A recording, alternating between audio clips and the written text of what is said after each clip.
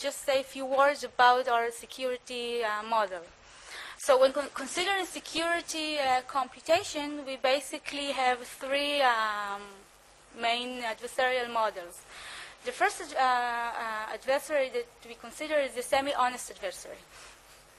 Uh, in this case, uh, we assume that the adversary followed the protocol specification, but may try to learn some additional information from the messages that he sees. The covert adversary, which is rather um, a new model, was introduced recently by Aumann and Lindell, and uh, in this case, uh, it is assumed that the adversary may cheat, but it, is, uh, it takes a big risk by uh, getting caught. So this is more slightly more realistic uh, uh, scenario, and um, in the malicious, for the malicious adversary, we, which we are going to focus in this talk, is uh, basically adversary that we do not assume any uh, assumption regarding, regarding his uh, strategy or behavior. He can do whatever he wants. Uh, the only assumption is that it is computationally bounded. So this is our setting, and um, uh, our proof works for the in the ideal real paradigm. Uh, basically, we have two settings, the real and the ideal.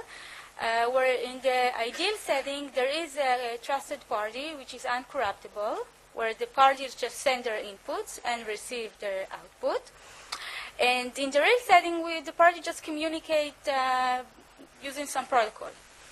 And in order to claim that the protocol is secure, what you need to prove essentially is that for every adversary in the real setting, there exists an adversary in the um, ideal setting, such that uh, the adversary's view, the messages that he sees, are essentially the same.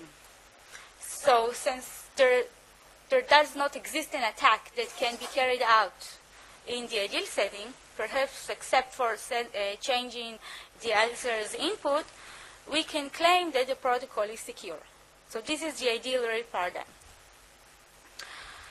So the prior work regarding uh, set intersection, so there has been much extensive work in this, uh, we're computing this uh, function um, securely, and uh, there are two main techniques. The first technique is using pseudorandom functions. Just I'm going to elaborate a bit more towards the end of the talk.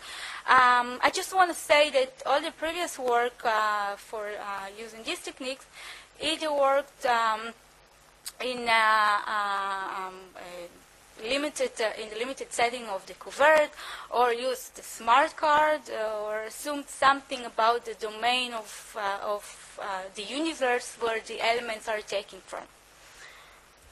Much more work has been done using in the in the polynomial using polynomial evaluation technique. So I'm going to focus on the malicious two-party setting, and for this setting, we have uh, uh, the FNP uh, work, which is our starting point for this work by uh, Freedman, Nissim, and Pinkas. Uh, their solution for the malicious setting uh, required random oracle, which I'm going to talk about it in, soon. And uh, other, uh, all the other papers using this technique introduced quadratic uh, complexity. I'm going to show in a minute. Uh, I just want to say that we combine this in this uh, paper. We combine these two techniques in order to achieve efficient solution for the malicious setting under standard assumption, meaning no random oracle. So uh, let's just overview this technique. So uh, in polynomial evaluation, you can think of uh, as uh, one of the parties' input, x, as the set of roots for some polynomial. And uh, to compute this polynomial, you basically multiply all these uh, uh, polynomials of degree 1. So it's like saying that the polynomial zeros on this, on this set uh, basically q of z equals 0 if and only if z is in the set. A useful tool that we are going to use and was also used for previous solutions is the homomorphic encryption. Uh, we consider homomorphic with respect to addition and scalar multiplication. Um, it's very easy to see that using homomorphic encryption we can evaluate polynomial obliviously without learning without knowing the coefficients of the, of the polynomial. The security requirement for this uh, uh, type of primitive is that uh, it would be um, infeasible or even impossible for even unbounded adversary to know whether uh, the encryption is encryption of M1 plus M2, which was computed using the homomorphic property, or uh, this is uh, an encryption of M1 uh, plus M2, which was randomly chosen regardless of uh, the encryptions that I had before. And the most popular candidate is the Paillier encryption scheme, which is used for um, additive homomorphism. So how does uh, the solution of FNP works? Basically, Alice computes uh, the polynomial Q based on uh, the set X. She encrypts this polynomial using homomorphic encryption and send, sends this encryption to Bob. Bob uh, evaluates uh, the, the polynomial in some specific way. He computes Q of y using the homomorphic encryption, then multiply with some randomness, this is scalar multiplication, and add y. Why do we add y? exactly for the uh, property that Alice decrypts, and then she can uh, uh, extract the, the values that are in the intersection, right? Because if y is in the intersection, then she would learn y. Otherwise, she would learn something random. Um, so just note that uh, uh, this introduces quadratic uh, complexity. Why? Because the degree of the polynomial is the size of the set right? So for every polynomial evaluation, Bob has to work in the size of the set, and the, the amount of work is um, the size of x times the size of y, which is really huge if we consider large databases. So in order to reduce the, uh, the complexity in the FNP, FNP came up with the idea of using balanced allocation hash function. So, so what is balanced allocation hash function? Certainly, it's essentially a hash function, not in a cryptographic sense, just a shrinking function, which has uh, basically a pair of functions. So um, each element is being inserted or mapped into the less occupied bin. This was all, uh, shown by um, Ehrlich, uh, Karlin, and Upfal from 99. And uh, what they showed is very with, with, very high probability over the choice of the hash functions. Uh, we can get that uh, the size of, of the number of elements that are mapped into each bin would be uh, O of log log n, where n is the size of the set, the size of the sets which are uh, which elements are being mapped. So um, by setting the parameters fixing the parameters properly, we get that uh, um, the, the, the, the, amount of, of, of the, communication complexity that we have is exactly is linear in the size of the set. However, uh, the, the computations, each, each polynomial now would be will have degree of log log, which I'm going to show now. Uh, so the amount of work would be log log the size of the set, which is much uh, um, smaller than x times y. So how do we use this uh, balanced allocation hash function here? So the FNP basically um, proposed this solution. Given uh, uh, H0 and H1, which can be chosen by both parties, Alice maps uh, her set into uh, the appropriate bins. Okay, so now she has b polynomials instead of one, but the degree of each polynomial is log log. And she encrypts these polynomials and sends to Bob. Now, for every element in Bob's set, he has to evaluate both uh, uh, uh, candidate polynomials because he does not know which polynomial was evaluated by Alice. So essentially, he evaluates these two polynomials and sends, it, sends them back.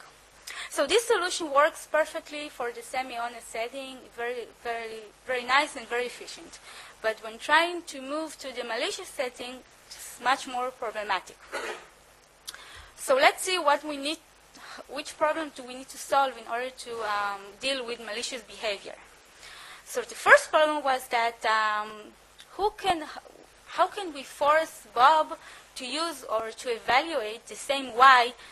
For instance, Bob can use y1 and y2, two different y's, when he evaluate for single evaluations, which means that Alice would output y2 if and only if y1 is in the intersection. This means that not only that we cannot simulate it, we have an actual attack of uh, uh, that independence of input does not uh, hold in this protocol. So in order to overcome these problems, uh, FNP came with this very nice idea in the random oracle, which works as follows.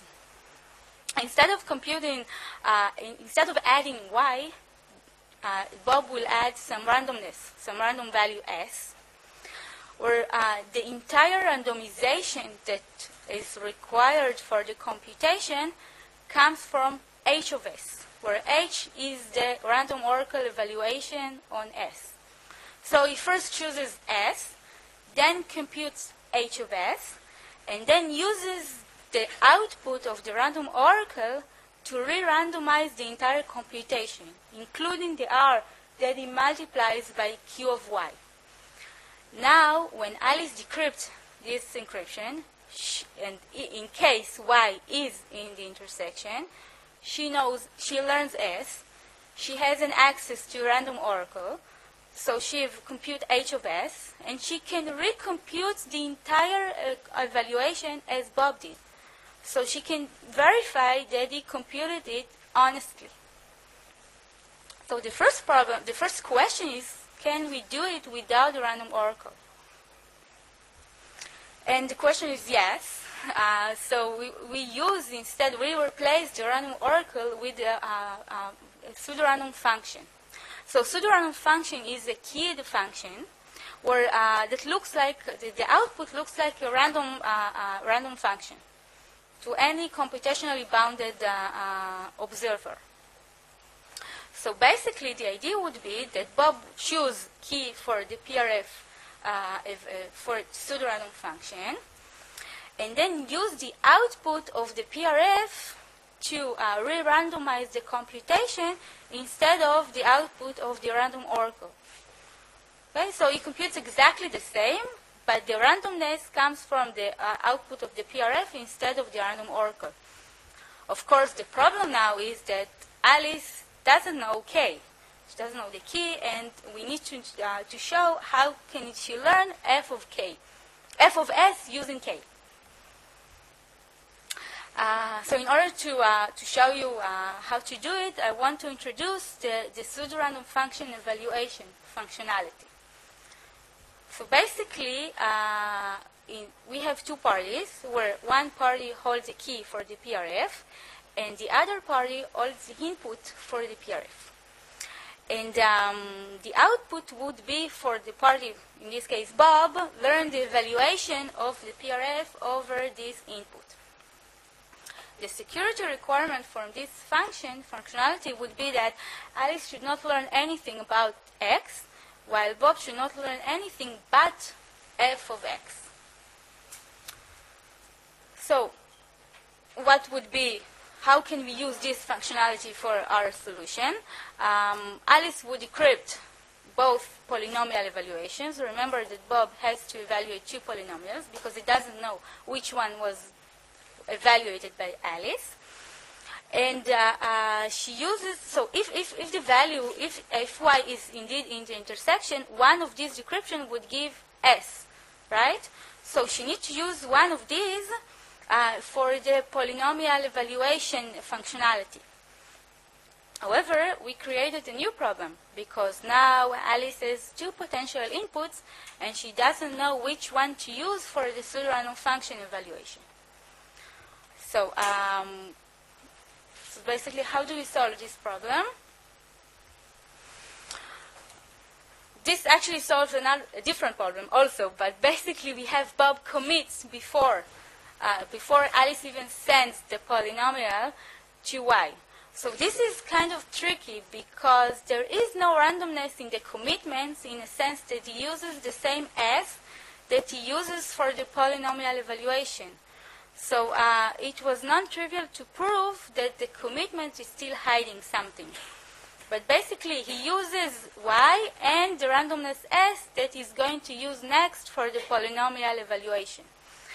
And this is necessary for Alice to verify against these commitments which S is the correct S that she should use for the evaluation, for the PRF evaluation. Uh, so all of this for the first problem. okay, not much left to go. Um, so as we said, the balanced allocation uh, requires two polynomials evaluations. And now we have to force Bob to use the same value in both polynomials because by substitution, substituting or evaluating two different uh, values may help him to learn some additional information because he, he can observe Alice's uh, uh, output or Alice's behavior according to what he sends. So uh, how do how do we force him? So one solution would be to say, okay, let's uh, uh, evaluate each polynomial separately, and then multiply the result, and then continue as before, just multiply by some random R that we get from the PRF of S. Of course, this does not work because we need fully homomorphic encryption for this. Since the polynomial evaluation requires additive homomorphic, and now we need to multiply the two evaluations. So if you want to come up with some efficient solution, uh, we don't know how to do it. So the solution would be to use El-Gamal, but in some, some tweak uh, way. How do we do it? So recall that the El-Gamal, uh, the secret key is apart from the group description and the, the generator is some alpha. And G to the alpha is the, uh, is the public key. And in order to encrypt uh, a message G to the T, we basically choose some random beta and uh, output G to the beta and G to the alpha beta times M. This is the ciphertext. So El-Gamal enable, uh, enables us to, uh, um, to do additive homomorphic, but in the exponent, and also uh, multiplicative homomorphic, which is the standard notion, uh, the usage of El-Gamal. So basic, basically what we are going to do is we evaluate the polynomial in the exponent, including the multiplication by some randomness r, but multiply s uh, a, as in the original standard notion of El-Gamal, with this evaluation. So note that if the, the, the, value is in the intersection, then all the exponent is cancelled to be zero, and Alice can learn S. Okay, this is, introduces some subtleties which I'm not going to um, get into it, but this is basically uh, what we do. And um, the third problem that we had to deal with uh, which was introducing the FNP, is what I sort of hinted when uh, I said that they used Paillier. So in Paillier, the plain text space is Zn, where n is, the multi is a multiplication of two primes. So it's not a prime or a group. So the problem here, and we don't know how to deal with this attack, is essentially that uh, malicious Alice can basically, she chooses the secret key so she knows the factorization of n. Um, so she, what basically she, she, can do, she can come up with a, a, polynomial q such that for some values, the evaluation of q, uh, q of t would not be co-prime with n. So if uh, Bob will, will multiply q of t with some random r, this will not be random in the entire uh, n, but in some much smaller subgroup which, give which may give her some information. We don't know how to uh, prove that she constructed the polynomial uh, correctly, but uh, using the El-Gamal already solves this problem because uh, El-Gamal is of prime order group, so give us for free the solution for this problem. Um, so just a quick overview of, of the protocol. This is really high level. We have that Bob sends the commitments uh, of his set, and then Alice sends the, the B polynomials uh, encrypted. And then uh, Bob just evaluates every two polynomials that are chosen according, according to the, um, the balanced allocation hash function. Um, now the party has to run a pseudorandom function evaluation m times, which is the number of elements uh, in Bob's set. And finally, um, Alice is able to uh, decrypt and uh, check for consistency and output all the values that are consistent with uh, uh, Bob's computations. And uh, just for efficiency, so um, we inherit the efficiency of, from F and P according to the balanced allocation. Only apart from the efficiency of the oblivious PRF, well, basically, in, the, in our paper, in the paper that uh, we wrote, uh, we actually used uh, the Naor-Reingold uh, pseudorandom function, which the amount of work is uh, uh, proportional to every bit in the input, not to every element, but to every bit. So this introduces uh, some overhead of the length of, of, each, of each element. Today, I think there are some other um, computation of oblivious PRF that can work in, um, in constant amount of work total, not just for every bit. So uh, it could be much more efficient. And uh, just a uh, final remark, uh, note that if uh, the size of the set intersection can be leaked or can, is allowed to be learned by Bob, uh, then the entire the entire computation is proportional to the size of the of the set intersection because you don't have to run oblivious theory for every value, just for the values that are in the intersection. And uh, that's it. Just for uh, to summarize, we have um, a protocol. Uh, I think the first protocol so that uh, I know the first protocol uh, for the set intersection that works under standard assumptions that achieves almost linear uh, efficiency in the set of in the uh, set sizes and is fully simulated both for malicious can be even uh, UC secure. It's easy to show. We also uh, know how to show to use this technique to solve the set union problem, and uh, that's it. Thank you.